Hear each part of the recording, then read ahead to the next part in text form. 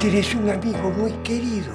Una de las mejores personas que conozco. Mucho gusto, Peter. El gusto es mío, Eva. Cuidado que tu gran amigo ¡Eh, ¿Don Gilberto? Ya viene. se puede convertir en tu gran rival. Me da pena, don Gil. Lo van a serruchar feo.